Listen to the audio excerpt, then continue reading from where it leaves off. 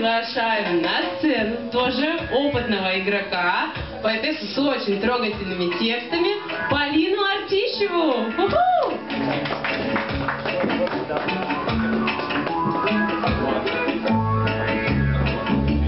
Добрый вечер. Я свои бусинки положу в оба графина сегодня, потому что я думаю, что Бог хочет, чтобы мы иногда на Него не уповали и действительно решали сами. Это самое большое желание.